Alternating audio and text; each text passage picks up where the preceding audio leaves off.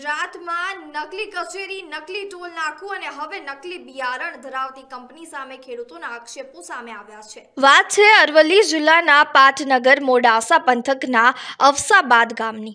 ગામના પાંચ જેટલા ખેડૂતોએ ચાલુ વર્ષે ખેતી માટે પેપ્સી ફાઇવ નામની કંપનીના બટાકાના વાવેતર માટે મોંઘું બિયારણ ખરીદી લાવી હતા. ત્યારે તેનું વાવેતર કર્યું, પરંતુ વાવેતર કર્યાના એક માસ જેટલો સમય વીતતા છતાં માત્ર વીસ ટકા જ તેનો ઉછેર થતાં ખેડૂતો ચિંતામાં મુકાઈ ગયા છે.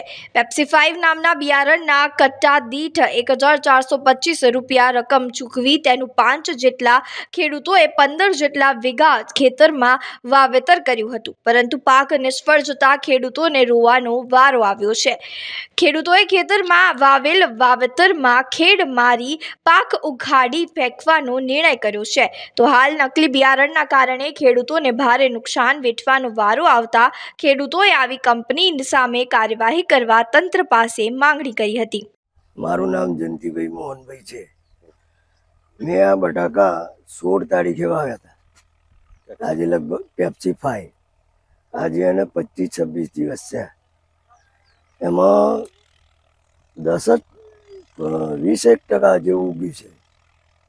બાકીનું બધું અંદર લખોટા કોરા છે, બીજા ફૂગ લાગીને કોઈ ગયા છે. તો મેં હવે બિયારણમાં પેપ્સી પાઈમાં ખામી લાગે છે. હવે મેં બીજું બિયારણ વાવવાનું નક્કી કર્યું છે. આ બાબતે જે તે કંપનીમાંથી બિયારણ લાય એમાં જાણ કરવામાં આવી હતી નથી કરવામાં હા એ કંપનીવાળાને જાણ કરવામાં આવી છે. એને ઘટતું કરવાની બાંયધરી આલી છે પટેલ દીપક કુમાર રમેશભાઈ ગામ હફસાબાદ તાલુકો મોડાસા જિલ્લો અરવલ્લી. હવે અમે પેપ્સી ફાઈવ પાંચથી છ ખેડૂતોએ ગામમાં વાયેલું છે. વીસથી પચીસ ટકા ઉગ્યું નથી. હવે આને અમે ખેડ મારી અને નવું બિયારણ નાખવાના. હવે એના પાછળ ખર્ચો, વીઘાનો પચાસ હજાર હોય છે. હવે આના પાછળ ખર્ચો કર્યા પછી કોઈ મળતું નથી. એના માટે આ નવું બિયારણ નાખવું પડે છે. એના માટે હવે સરકારે કોઈ કાર્યવાહી કરવી જોઈએ.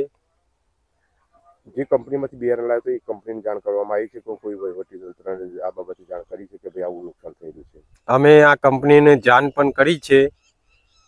તો એ કંપનીવાળાએ અમને ખાલી વીસ ટકા બિયારણના પૈસા કાપવાનું કીધેલું હતું. પણ વીસ ટકા અમે અમારી પાછળ આ પચાસ હજારનો ખર્ચા પાછળ વીસ ટકાનું કશું લાગે નહીં. એના માટે કોઈ કાર્યવાહી કરે સરકાર. Bureau report light twenty four news.